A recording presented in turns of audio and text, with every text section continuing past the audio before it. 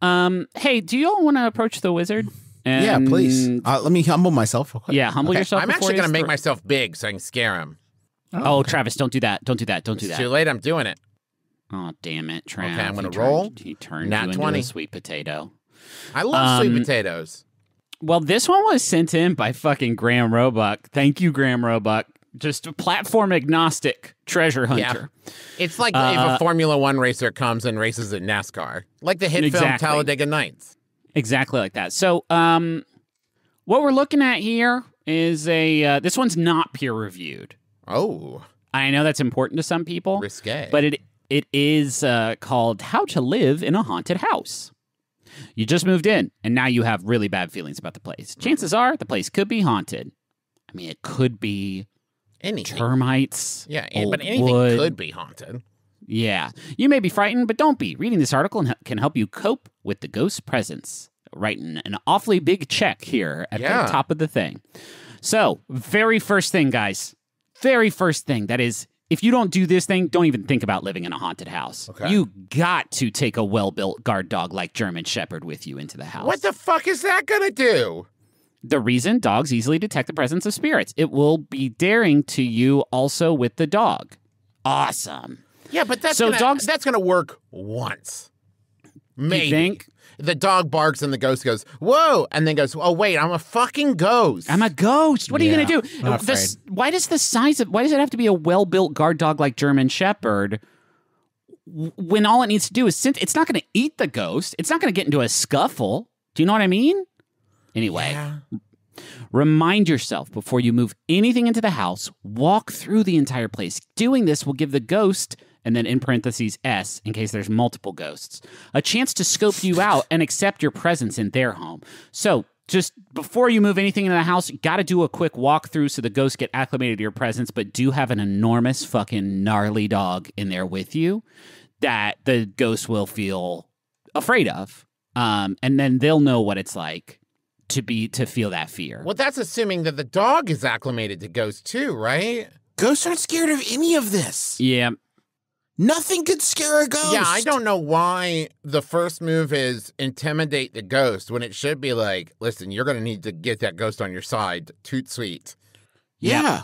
Well- Beg the ghost's forgiveness. Beg your pardon, ghost. Yeah, So offer sorry. to get like a good cable package or something for the ghost. Do stuff for the ghost that the ghost can't do for themselves. I'll open That's the great. blinds so you can see outside or something. right. I will open these this box of Cheez-Its for you, so you can have the Cheez-Its within. I know you have trouble with the box. I'll put in some scented candle. Can you smell? 'Cause is that a thing ghosts can still do? I don't know. We're still getting to Ask know the- each other. Ask the dog. The dog knows. Remember, before moving all your stuff into the place, move as few items as possible. This will avoid riling the ghosts to the changes going on in the transition from former occupants. Why not just ask? Hey, can I put the couch here? Where'd that couch come from? I feel hate like this. if I could put the couch here, it's going to get less glare on the television that I bought for us. For us.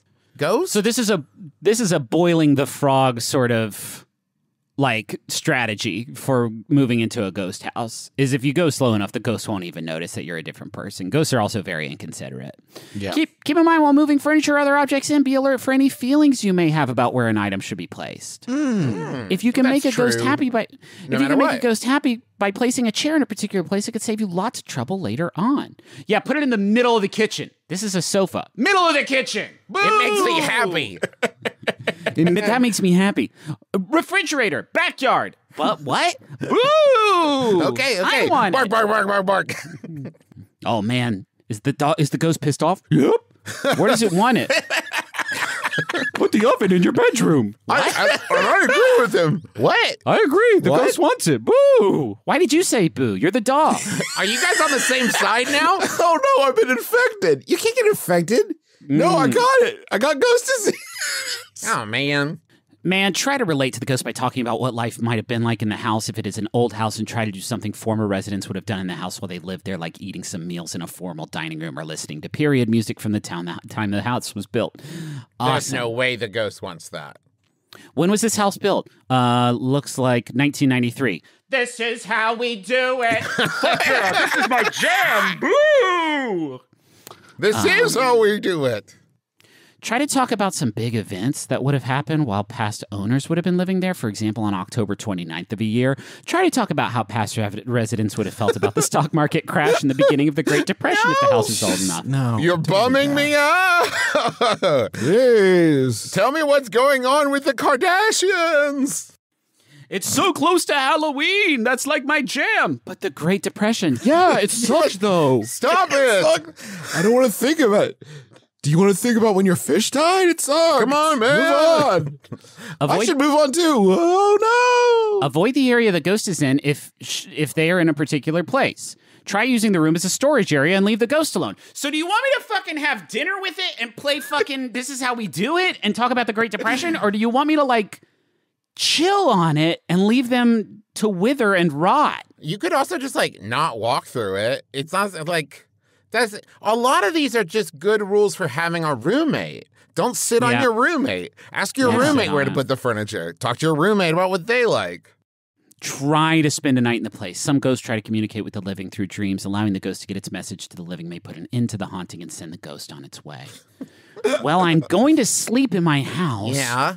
So this one's gonna get done no matter what. Are you sure I should try the other shit before this Thank one? you for sleeping here. My message is there's a carbon monoxide leak.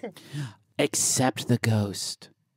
This may be difficult for some to do. Most ghosts will leave you alone if you acknowledge their presence. Hey, ghost. Accept the ghost, leave them alone, have dinner with them, dream Ghost, about them, but don't I talk to them. I love you. Don't you do this to me, man. I love you. Don't say it if you don't mean it. You heard me. Yeah. Fucking love you. Um, talk to the ghost, let it know it's welcome to stay if it leaves you and your family alone. But remember if the ghost does something scary, let it know you are upset and that if that if such behavior continues, it will not be tolerated. okay. Some ghosts Yeah, okay, fucking tough guy. Back that up. Hey, Yeah. back that up, shithead. This has shifted from what to do if you have a roommate to what to do if you move into a house and there's a big scary dog there. Yeah. Hey, you just stay Um, over there and I'll stay over here. No, don't growl at my kid, or else what? We'll move. I'll kick your ass? Ah, probably not that though. I shouldn't. Some ghosts can be persistently aggressive. Some ghosts can be persistently aggressive, and this behavior may prevent you from sleeping or enjoying your home life the way you deserve to. If this happens, never respond in anger. This will only add fuel to the fire. Focus on feeling love for these entities that probably haven't felt love in a very long time, if ever. Directing positive energy toward them can be surprisingly effective in stopping unwanted behavior. Okay, so that's the tip. I need to get some sleep. Do you want to make out? Yes, please. Yes, please. um, I don't know why my ghost kind of sounds like Bane a little bit. it does a lot. Yeah. Let's take a quick break and then we'll be right back after this brief trip to the money zone.